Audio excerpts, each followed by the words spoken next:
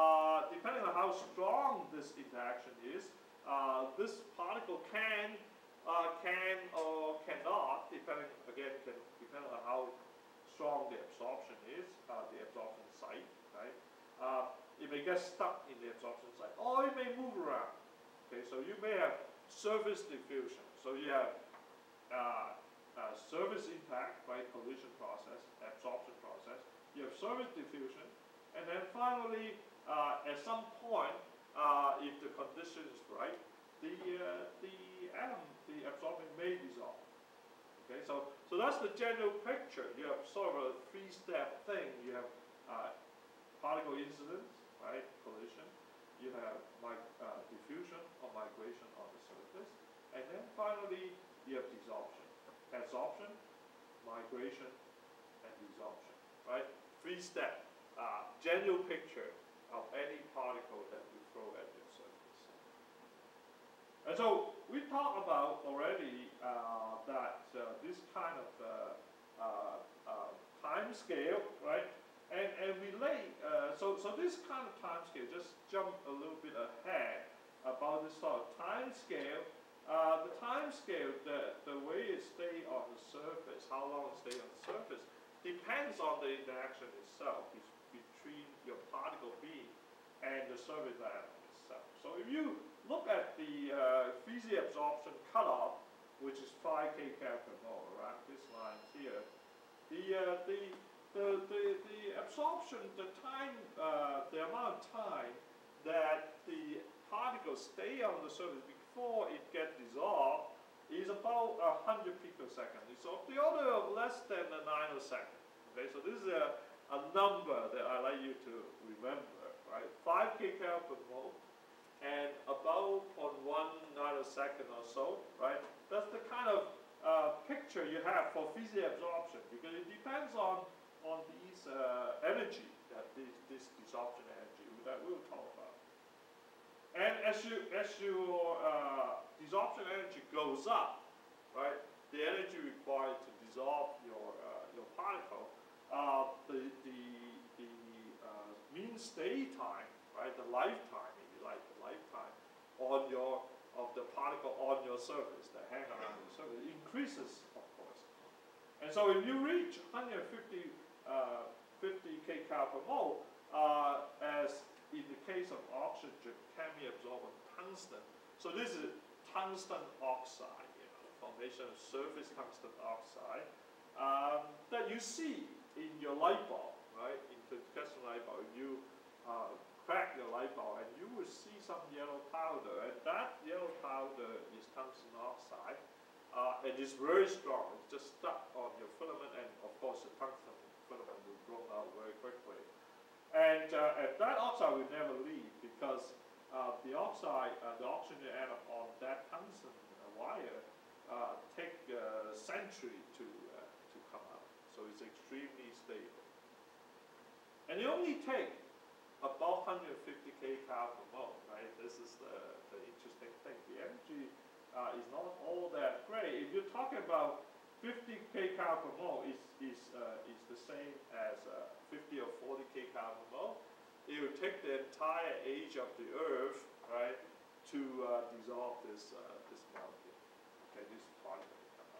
And we talk about uh, CO chemisorption nickel earlier, is take 100 years. It's about 30 kcal okay?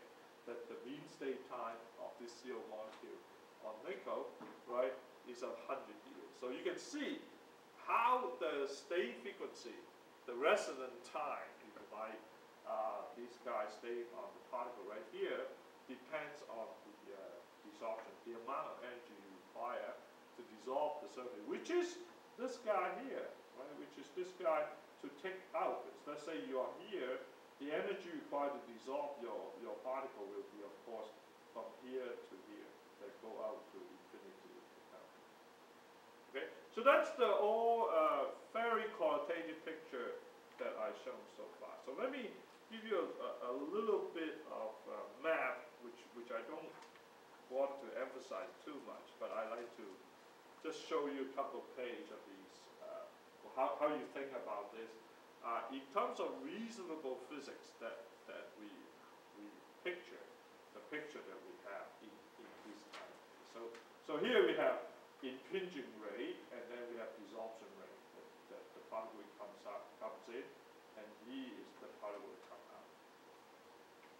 So here's a, a, a very quick uh, picture of kinetic consideration of these uh, absorption of any particle beam. So we write down very quickly this I, which is impinging rate. Think of it as a particle flux uh, hitting your surface, and in terms of particle per centimeter square uh, and uh, per time, right? So it's exactly like flux density, the, the kind of uh, rate of uh, particle beam hitting your surface.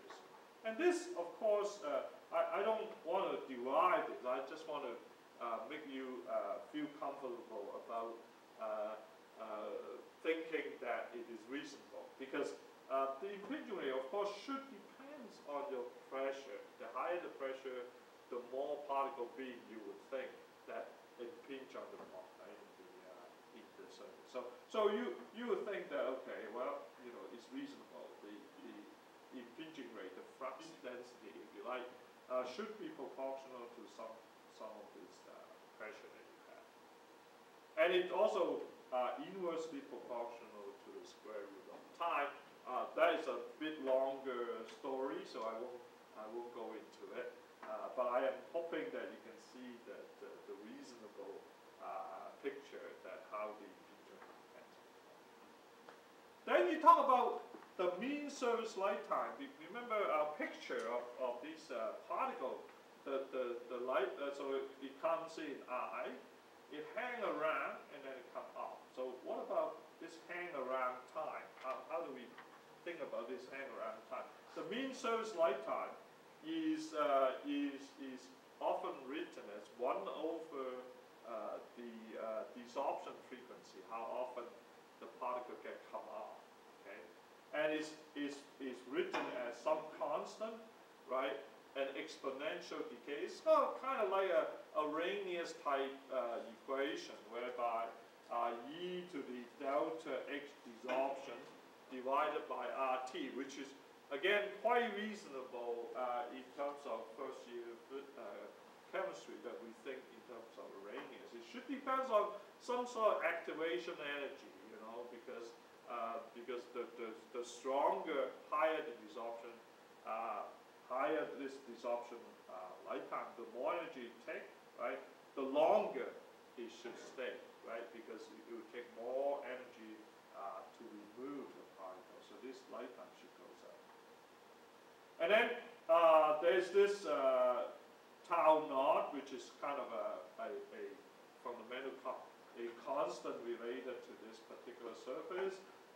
is proportional to this inverse uh, temp frequency, uh, which is uh, under normal one atmosphere type pressure is, is of the order 10 to 13 hertz. Is, is the amount of particle hitting your surface per unit time. And then you have something very complicated, which I don't have time to go into, which you see in uh, statistical uh, thermodynamic, which is related to partition function. So ignore this. Uh, think of it as just some sort of proportional to this uh, attempt frequency, but there are bases in statistical thermodynamics that you can you can work this thing out. And typically, this uh, this uh, tau naught is of the order of uh, 10 to the minus 13, 10 to the minus nanosecond